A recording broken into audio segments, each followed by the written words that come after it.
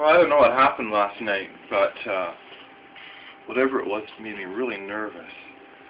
And today, August uh, uh, 2nd, I feel physically like I'm ready to start shaking. Um, it's all to do with this decision to go to KSA. And I feel like the day that I left Latanche, well not the day, but the days that I plan to. Like I'm short of breath and I'm just generally like really physically nervous. Um, I might just have to change my decision.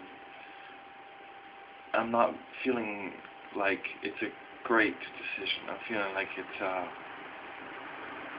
it's an okay one.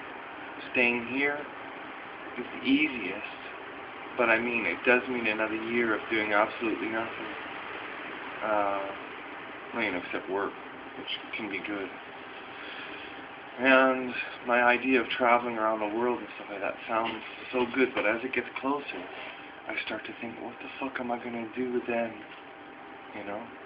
But if I stay here, I'm going to be 50 years old, and then I'm going to say myself exactly the same thing, and there's going to be a no answer. So, anyway, I'm taking the day off to think about it.